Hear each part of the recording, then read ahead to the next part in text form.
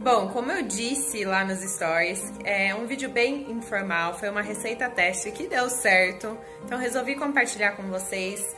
É para facilitar o seu role 30, é um bolinho super prático para você colocar no seu pré-treino e eu vou fazer a adaptação, vou contar para vocês na realidade a adaptação para o pós-treino também, se você não quiser colocar o carbo, que não é obrigatório dependendo do seu nível de atividade física, ok?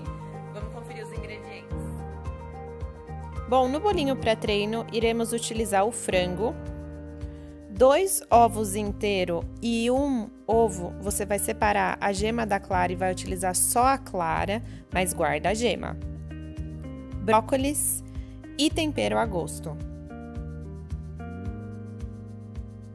Na versão do bolinho pós-treino, iremos utilizar o frango, quatro claras, brócolis e tempero a gosto. Lembrando que esse bolinho pós-treino você pode utilizar ele também no seu pré-treino, ok?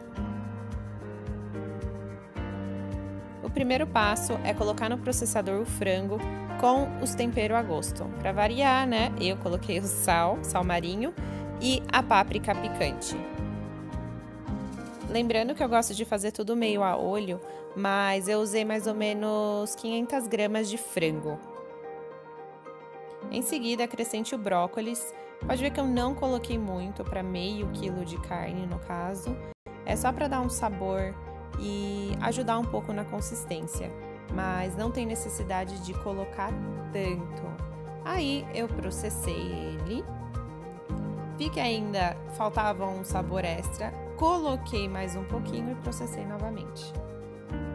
Em seguida, acrescente dois ovos inteiros Separe a gema da clara, guarda a gema e coloca a clara aí na mistura e pode processar novamente. Lembrando que se você está fazendo bolinho pós-treino, você vai colocar quatro claras sem a gema e não precisa nem separar a gema. Se você quiser guardar para utilizar em outra receita, ok. Bom, lembra que eu falei nos stories que esse vídeo seria bem informal, porque era receita teste que deu certo. Então, é, ó a consistência dele. É aquela mesma do bolo, do, do bolinho Role 30 que eu já postei. Tá vendo, ó? Não tá esfarelando e ele não tá nem grudando na colher. Então, o ponto é esse. Ó, nem na mão ele tá grudando. Tá vendo? Ó, amassei, ó, não gruda. Bom, na hora de você fazer o bolinho, é, não pode ficar muito alto, porque senão não dá um ponto legal por dentro, ok? Outra coisa, gema que deixamos separadinho, pode pegar ela agora e pode pincelar por cima do bolinho para dar uma corzinha para ele. Lembrando que no bolinho pós-treino, não, no pré-treino, liberado. Não esquece de pré-aquecer seu forno a 210 e na hora que colocar o bolinho, diminui para 180. Fica mais ou menos uns 15 a 20 minutinhos no forno. O jeito de você ver se tá bom ou não é sempre vendo se embaixo já tá douradinho. Lembrando que também, se a sua forma não for antiaderente, pode passar aí um óleo de coco, uma manteiga ghee para não grudar o bolinho. Bolinho pronto, fica uma delícia.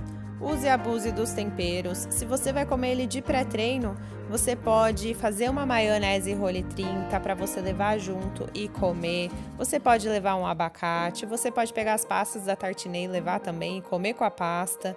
Usa sua imaginação, que não pode fazer pré-treino errado.